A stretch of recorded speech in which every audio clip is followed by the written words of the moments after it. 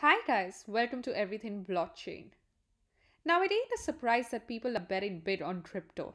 There is just so much that the crypto world and the DeFi space in particular have to offer. And in today's video, I'm going to be talking about a platform that does exactly that. It's called Harvest Finance. But before I begin, I want to talk a little about yield farming. For those of you who don't know, Yield farming helps users like you and me to earn passive income on our digital assets that would otherwise be sitting idle in our wallets. It's the process of lending these assets to DeFi protocols so that the assets, or you can refer to it as the liquidity, can be utilized by others. Now, when you lend your assets or you add liquidity to a platform, you're rewarded with more cryptocurrency in the form of interest. But the catch is that there are a plethora of projects in the DeFi space that offer several liquidity incentives, each with their own set of rules and conditions, making it slightly complex. And what Harvest Finance does is it simplifies the task and lists all of these in one place. And not just that, it collects or rather it harvests the reward tokens on behalf of the users and exchanges them for more of the underlying assets that the users deposit, thereby compounding the interest they earn. What this does is it saves users both time and network fees that are associated with making multiple transactions. And guys, time is money. So, to put it simply, Harvest Finance is a yield aggregator that aggregates and automates the process of yield farming for its users. So without further ado, let's get started. We're going to click on Connect Wallet, choose the network. We have Ethereum, Binance Smart Chain, Polygon. It's only fair to mention the gains on Ethereum are massive. But for today, I'm going to be selecting Matic, MetaMask,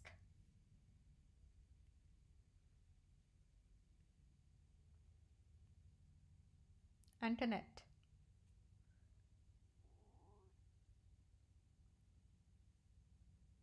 As soon as I'm connected, you can see you have the assets displayed on the left hand side. Then you have the harvest APY, the deposits and your balance. You also have the various liquidity pools at the top. Scroll down and you can see the entire list. I'm going to be selecting the Jarvis Euro USDC pool. Now you can hover on top of the vault details to see the vault address, pool address, the APY. And if you look closely, you'll be able to see that 45.48% would be auto harvested. For more APY, 1.23% would be your wrapped Matic rewards, and that makes it a total of 46.7% APY. Now what I'm going to do is I'm going to mint Jarvis Euro using USDC then we're going to provide liquidity on Kyber in the Jarvis Euro USDC pool. And eventually, we will deposit the LP tokens on Harvest Finance. So all of this sounds like a lot, but let me take you through what Jarvis is. Jarvis Network is a set of protocols that gives users exposure to any trading instruments through synthetic assets or margin trading. It brings fiat stable coins like Euro, USD, etc. to the DeFi space through synthetic tokens called JFiats. So I'm going to click on trade and let's get minting. We're going to enter the amount as our wallet is already connected. That's 50 USDC for which I'm getting 44.04 Jarvis Euro. And confirm. You can see the gas fees and the total amount. Click on confirm again and the transaction has started. Now that the transaction is complete, I'm going to go back to the Harvest Finance website and you can see here that I'm meant to click on Kyber DMM. Now Kyber DMM is DeFi's first dynamic automated market making protocol. It is a next generation automated market maker that is designed to maximize the use of capital by enabling extremely high capital efficiency and reacting to market conditions to optimize returns for liquidity providers like us. So since we clicked on the link directly, it brought us to the Jarvis Euro USDC pool. Now I'm going to click on Max. You can see my balance is slightly more than $50 because I already had some in my wallet. Anyway, let's continue. Let's click on approve. You can see the gas fees on Matic are incomparable to the high gas fees you would have had to pay on the Ethereum network. Now you're just going to click on confirm and proceed. So your USDC is approved. Click on approve again.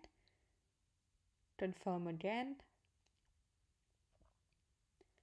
And approved. We're going to click on supply. You will be able to review the details of your transaction as well as the LP tokens you're meant to receive.